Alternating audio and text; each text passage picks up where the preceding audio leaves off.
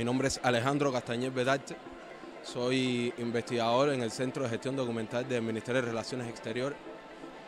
Eh, para mí es eh, muy importante en este momento poder estar presente en esta Asamblea Nacional y más en una fecha como la de hoy, una fecha cargada de victoria donde estaremos presenciando la elección de nuestro presidente y todo ya el proceso que está ocurriendo ahora con la elección de nuestro Consejo de Estado. Como delegado, como presidente de un Consejo Popular, que nos inviten, que nos den la posibilidad de estar aquí, de presenciarlo en, primera persona. Toda la, Asamblea Constitutiva es un honor. Eh, nos permite también ser partícipes de este acto de participación, de democracia de nuestro Estado. Un placer y bueno, hemos visto a los diputados ejerciendo sus deberes, sus responsabilidades, e incluso destacar eh, el, hecho de que una votación no haya salido unánime, cosa que también muchas veces se nos critica.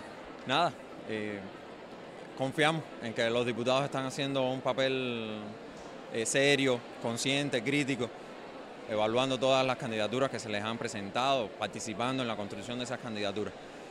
Entonces, un día muy feliz, un día feliz para el pueblo de Cuba. Es la primera vez que participo en una sesión de constitución de la Asamblea Nacional como invitada. Es un gran honor para mí apreciar este proceso, ser partícipe de él.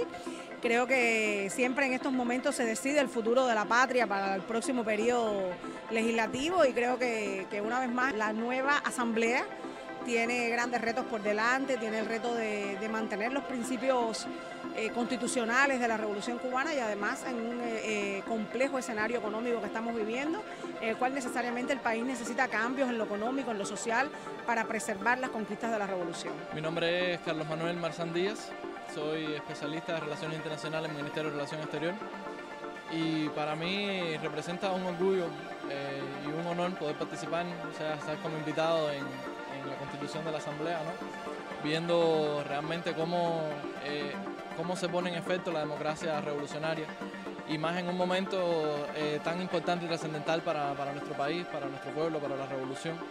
Entonces poder ser testigo de, de la historia ¿no? mientras se va haciendo es realmente un gozo.